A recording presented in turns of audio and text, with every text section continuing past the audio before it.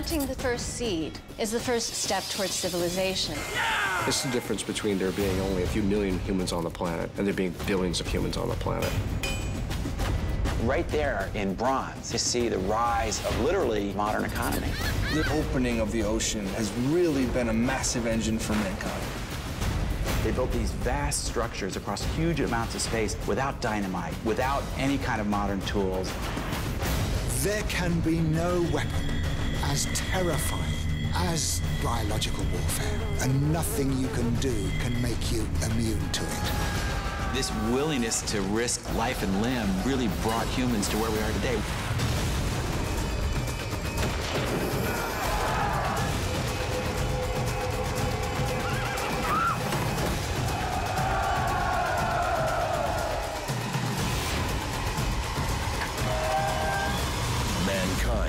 The story of all of us. The journey begins tonight at 9 on History.